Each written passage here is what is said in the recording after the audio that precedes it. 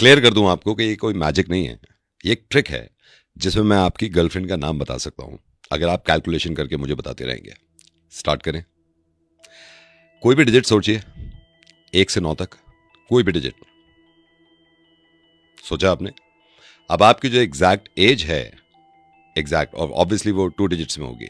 जो पहले वाला डिजिट है, जो आपने डिजिट सोचा है, उसमें प्लस कर दीजिए उसको। ऐड करिए। करा। अब किसी भी वेजिटेबल के बारे में सोचिए। कोई भी सब्ज़ी जो आपको पसंद आए। सोच लिया। एक कलर के बारे में सोचिए, कोई भी कलर जो भी रंग आपको पसंद हो। सोचा आपने? बक्स ले लीजिए, सोच लीजिए आराम से। वो जो दो डिजिट्स आपके ऐड करने के बाद आपके पास आए थे, उसमें से माइनस टू कर दीजिए। माइनस टू कर दिया। कर दिया। अब एक काम करिए अपनी पसंद का कोई भी एक दिन सोचिए। मंडे टू संडे कोई भी एक डे सोच लिया। अब कमाल की बात यह है कि गर्लफ्रेंड तेरी है नहीं।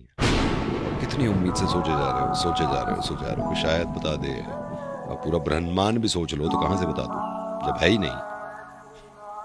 कैलकुलेशन चल रही है।